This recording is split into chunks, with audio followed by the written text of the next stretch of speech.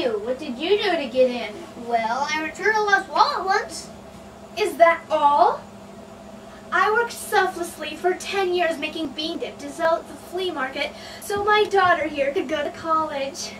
What did you do?